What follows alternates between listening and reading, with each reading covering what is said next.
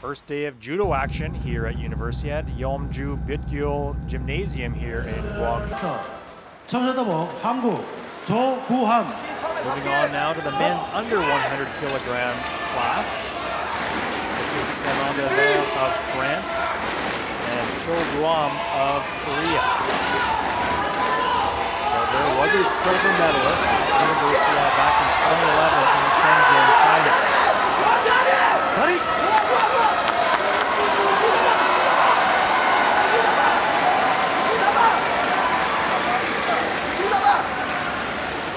됐어 됐어 6호 계속 계속해 붙이게 끝 Another one given there. Hey, 붙여줘. Gets down. Going to be those three shidos that give the Korean the gold medal here at home in Gwangju.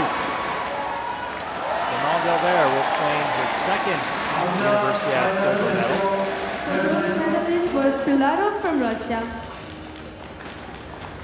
You see the bronze going to Pfeiffer and Bilalov. 러브